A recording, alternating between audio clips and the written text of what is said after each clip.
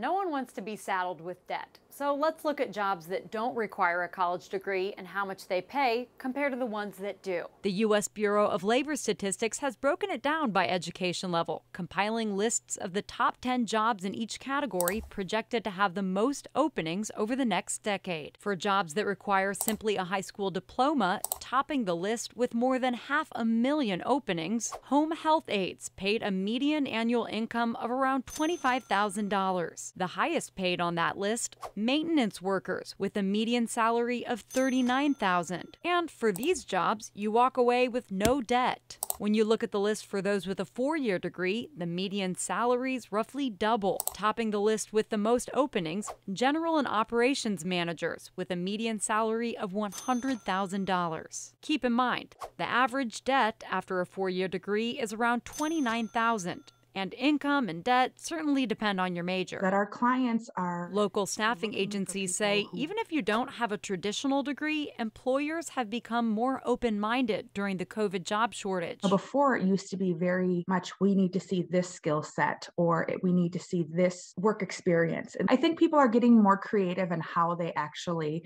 are looking to open the doors to bring in new solid candidates. Jessica Harstad with Platinum Staffing said a job seeker's best bet is to show a willingness to learn on the job. Be there with open arms to say, yep, teach me, show me. Also, don't sell your skills short. Sometimes people in fast food would say, Well, I just work fast food. And it's like, Yeah, but it's also time management, you know, and it's customer service and it's, you know, paying attention to details. I mean, those are a lot of things. So don't undermine the skill set that you actually bring to the table. Eva Anderson, KARE 11 News. Okay, so there are helpful tools that can calculate your projected debt and income based on a college major. And we have that link to this story at kare11.com if you want to know. Yeah, it's interesting yeah. to fiddle around with that thing. Let's check out in the back.